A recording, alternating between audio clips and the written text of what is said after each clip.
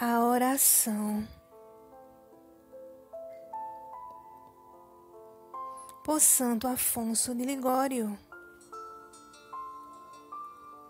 Regras de vida cristã, parte 3. Modo prático de fazer oração mental. Como preparação, diga. Primeiro, meu Deus, creio que estás aqui presente. Eu vos adoro com todo o meu ser. Segundo, Senhor, mereceria estar agora no inferno. Arrependo-me de vos haver ofendido. Perdoai-me. Terceiro, Pai eterno, por amor de Jesus e de Maria, iluminai-me. Depois, recomende-se a Maria Santíssima com uma Ave Maria. Recomende-se a São José, ao anjo da guarda, ao santo padroeiro. Agora, leia a meditação.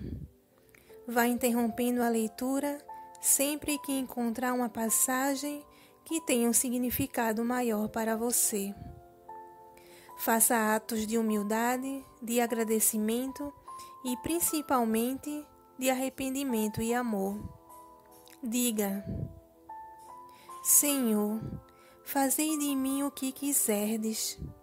Ajudai-me a conhecer o que quereis de mim. Quero fazer o que vos agrada. Ore muito, pedindo a Deus a perseverança, o amor, a luz, a força para fazer sempre a vontade divina, a graça de orar sempre.